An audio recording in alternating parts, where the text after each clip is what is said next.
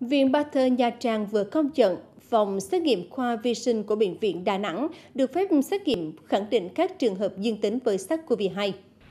Theo đó, thì khoa vi sinh có trách nhiệm xét nghiệm khẳng định các trường hợp dương tính với SARS-CoV-2 và thực hiện hỗ trợ xét nghiệm khẳng định cho các đơn vị địa phương khác khi có nhu cầu và báo cáo số liệu xét nghiệm theo quy định. Để đảm bảo phục vụ công tác xét nghiệm thì đơn vị trang bị đầy đủ các nguồn hóa chất, sinh phẩm, vật tư, trang thiết bị như máy real-time PCR, tủ an toàn sinh học cấp 2,